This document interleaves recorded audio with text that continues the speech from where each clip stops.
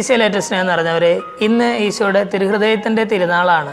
ചെറുപ്പം മുതൽ നമ്മൾ പ്രാർത്ഥിച്ചിരുന്ന ഒരു പ്രാർത്ഥനയുണ്ട്. ഈശോയുടെ തിരുഹൃദയത്തിന്റെ രൂപത്തിന് മുമ്പിൽ നമ്മൾ പ്രാർത്ഥിച്ചിരുന്ന ഒരു പ്രാർത്ഥനയുണ്ട്. എളിമയും ശാന്തതയും വിനയവുമുള്ള ഈശോയെ എന്റെ ഹൃദയം അങ്ങയുടെ ഹൃദയത്തിന് ഒത്തതാക്കി തീർക്കണമേ എന്ന് നമ്മൾ പ്രാർത്ഥിക്കാറുണ്ട്. ഇന്നത്തെ തിരുനാൾ ദിനത്തിൽ നമ്മൾ ചിന്തിക്കാൻ പോകുന്നത് ഈശോയുടെ ഹൃദയത്തിന്റെ പ്രത്യേകത എന്താണെന്നുള്ളതാണ്. ഏതൊരു കൊച്ചുകുട്ടിയോട് ചോദിച്ചാലും അവൻ ഏറ്റവും ആദ്യം പറയുന്ന ഒരു ഉത്തരം നമ്മുടെ എല്ലാവരുടെയും ഹൃദയം നമ്മുടെ ശരീരത്തിന്റെ ഉള്ളിലാണ്. ഈശോയുടെ ഹൃദയം ഈശോയുടെ ശരീരത്തിന് പുറത്താണ് എന്നുള്ളതാണ്. അതായത് ഒരു വലിയ സുതാര്യത ഈശോയുടെ ഹൃദയത്തിന് ഉണ്ടായിരുന്നു എന്നുള്ളതാണ്.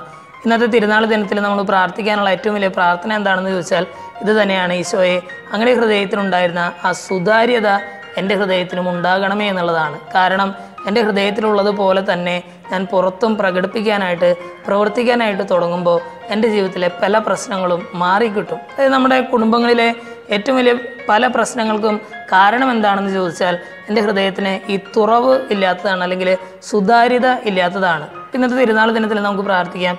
ഈശോയെ അങ്ങനെ ഹൃദയം പോലെ സുതാര്യതയുള്ള ഒരു ഹൃദയമാക്കി എന്റെ ഹൃദയത്തെ മാറ്റണമേ എന്ന് നമുക്ക് പ്രാർത്ഥിക്കാം. ദൈവം നമ്മെ എല്ലാവരെയും സമൃദ്ധമായിട്ട് അനുഗ്രഹിക്കും